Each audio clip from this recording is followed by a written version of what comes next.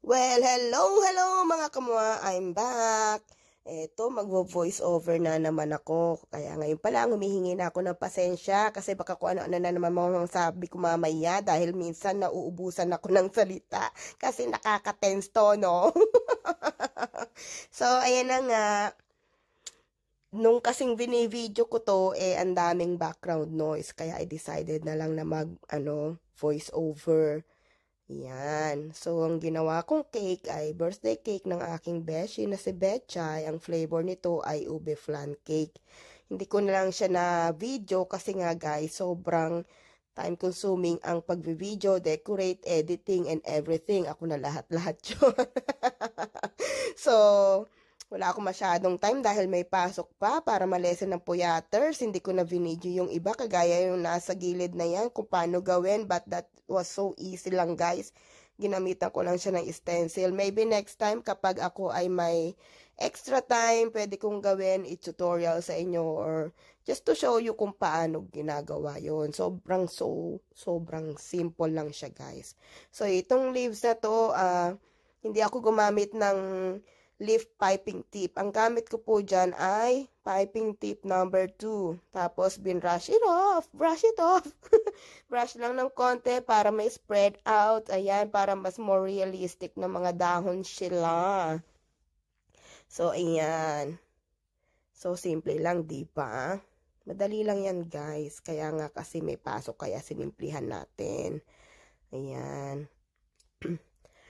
Ay, nako at least ang boses ko ngayon hindi masyadong matutina ha, kasi nga meron akong siponers. Pero guys, hindi ako tumatanggap ng orders kapag may sipon dahil nga ako ayoko mahawang aking mga customers. Kaya nung ginawa ko to ay wala akong sipon. Yan, ang birthday ng aking beshi noong November 17. Ginawa ko yan November 16, of course, para ready ng 17. So, ayan nga, nilagyan ko na lang konting echos-echos. Ayan, kung may mekos-mekos, may echos-echos. Mga inson, brother, sister.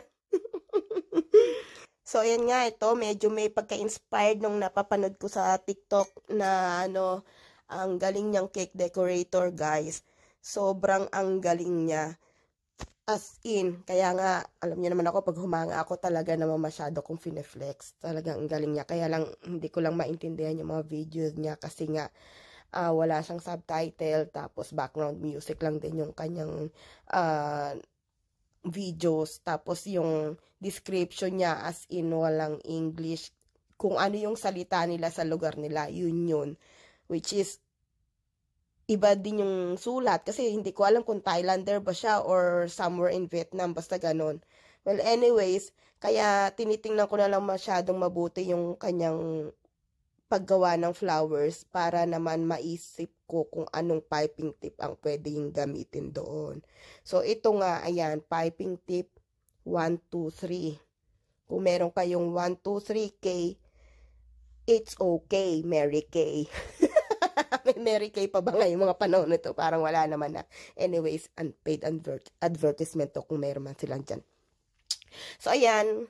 Nag panginig-nginigirin nyo lang ng konti ang inyong mga kamay para yung petals niya is mas maganda ang pagka-ruffles. Ayan. So, piping tip number one.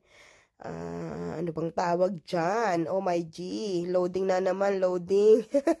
Alam niya na tumatanda, loading, loading. Ah, uh, basta hindi nadapuan ng mga bees flowers, yun yun. O, oh, yan. Yan yon. Tapos, ayan, gagamitan ko lang din siya ng uh, piping tip number 2. Yan, yung kulay green na yan. Tapos, medyo lagyan nyo na lang ng konting details, details pa. Ayan. Gets nyo ba? Sana nagigets nyo. Saka pasensya na kayong mataas yung video kasi nga wala akong photo. Videographer, ako na lahat-lahat dyan. Videographer, editor, everything. so, bago yung aking tripod kaya hindi pa ako masyadong bihasa. But anyway, sana makita nyo ng maayos. Kung pwedeng i-zoom, i-zoom in nyo na lang. So, ayan, syempre, dagdagan natin ng isa para hindi siya nag-iisa, nagsosulod dyan. Para dalawa sila. Natural, kundi isa, di dalawa. Ayan, it represents me and my Beshi. Ayan nga, oh, di dalawa kami dyan. Thank you, Beshi. At nagustuhan mo yung cake mo kahit sobrang simple. Ayan, so, ulit-ulitin lang, history repeat itself, sabi nga nila. But of course, this is not a history, this is just now. Ayan, gayahin nyo lang siya guys. So, walang problema yung gayahin nyo may ginagawa ko. Ganun din naman ako minsan eh. Kumukuha ng idea sa mga ibang cake decorators. Yan. So, yan nga. Sabi ko nga sa inyo, ulit-ulitin lang. Same procedure. Ganun lang kasimple. So, ngayon, kung medyo may nakikita kayo na parang feeling nyo is something missing, ayan, dagdagan nyo na lang, ganyan. So, kaya naglagay ako ng medyo maliit pa dyan. Nga pala guys, pakifollow nga rin po palang aking pamangkin sa YouTube saka sa Facebook page niya, yung 80 Cakes. Sobrang galing niya guys. Hay nako, mas magaling yung kaysa sa akin. Kaya lang expertise niya is fondant. Kung ako naman ay buttercream. Sa buttercream, medyo magaling ako. Medyo lang natin. Huwag tayo masyadong magyabang at baka tayo mabasa sa social media. Mahirap na. Ayan, so yun lang, i-flex ko lang na mas magaling talaga ipamangkin ko. Totoo naman po yun. Kung makikita nyo lang yung mga gawa niya, so i-follow nyo po siya para makita nyo yung mga gawa niya, talagang ma-amaze kayo. Mas artistic sa akin yon Sa kanya lang ako nagmana. Maligtad ako nagmana sa kanya. Aldrin Talampas po ang kanyang pangalan. Kaya 80 cakes. So, ayun, nilagyan ko lang ng piping, decoration dyan na which I forgot ko anong piping tip ang gamit para lang makover yung konting space na yan. So, yan guys. Sobrang simple, ba diba? Kaya sana po may natutunan kayo. At kung gusto niyo mag-request, just let me know. I love you all. Mwah!